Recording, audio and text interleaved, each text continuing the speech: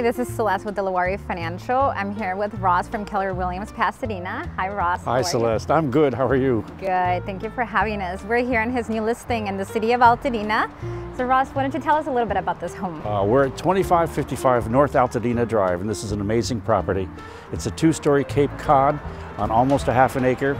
It's nearly 3,300 square feet, four bedrooms, three and three-quarter baths, and it goes on from there. As we go into the kitchen, you can see that it's a country style, custom made cabinetry, all hand painted to look old, marble countertops. There's a six burner Viking range with a grill, and the stained glass Tiffany style pendant lamp makes the room and it stays.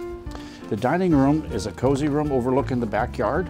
The master bedroom is a walk-in closet with shoe storage, dual vanities, there's a steam shower with aromatherapy, a large soaking tub, a game room or a craft room, whatever you need. It's also got a full bath.